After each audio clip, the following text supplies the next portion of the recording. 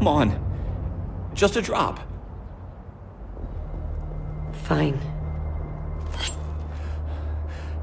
In here.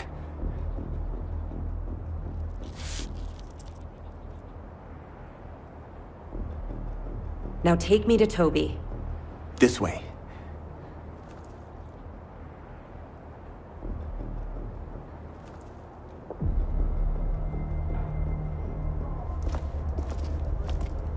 No, god damn it, no! Lost in the fucking fog for hours, and now this.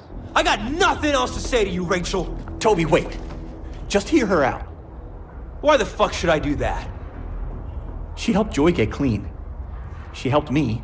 Maybe she can help you. Fine. I think you should join us. The cult that murdered my sister wants me to join them. What can I say to get you to join? That I'm an asshole? Fine, I'll say it. I'm an asshole. That's it?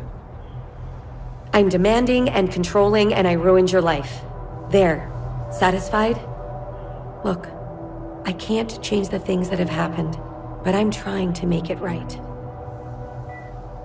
We both know what happens when we work together. People die. Not this time. Not any time. Toby, wait!